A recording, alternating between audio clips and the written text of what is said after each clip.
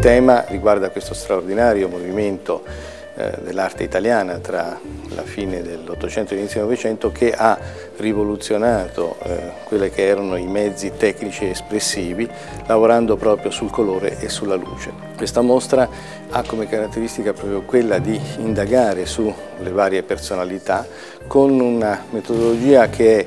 da una parte quella di non soltanto documentare i grandi maestri, da Segantini a Pellizza a Morbelli, ma anche di costruire un percorso di geografie più allargate, quindi considerare quello che è la diffusione del divisionismo in aree geografiche che non sono soltanto il Piemonte, la Lombardia, ma anche la Liguria, la Toscana e eh, l'Emilia, Roma, e dall'altra anche quello che è il lungo periodo, vale a dire una rivoluzione legata alla luce e al colore che non soltanto prende avvio alla fine del, dell'Ottocento, ma anche quei maestri, quelle figure che poi nel secolo successivo, quindi nel primo decennio del eh, Novecento, si rivolsero a questa nuova tecnica proprio nella ricerca della modernità e della luce. Pensiamo non a caso che quelli che saranno poi i grandi esponenti del futurismo come Balla e Boccioni e Carrà, per esempio, avviarono la propria carriera, la propria attività proprio rivolgendosi al, eh, alle tecniche divisioniste.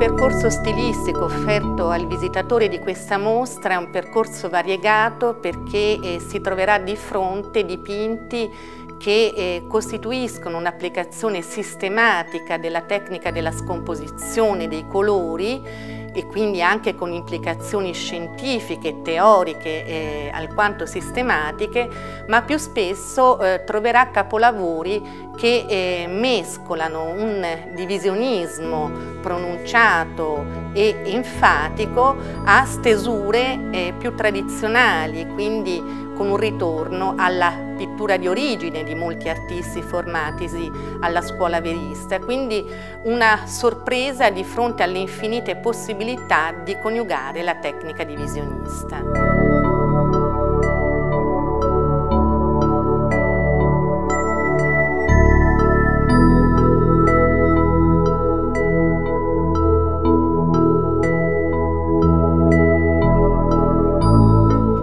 Accanto alla mostra eh, sul divisionismo a Palazzo eh, Roverella possiamo visitare una eh, esposizione con sorella a Villa Badoer a Fratta Polesine eh, sulle ceramiche eh, di Galileo Chini. Si tratta di eh, ceramiche che riecheggiano le tessiture orientaleggianti e eh, colorate d'oro che ritroviamo anche eh, nelle eh, figurazioni pittoriche di Galileo Chini.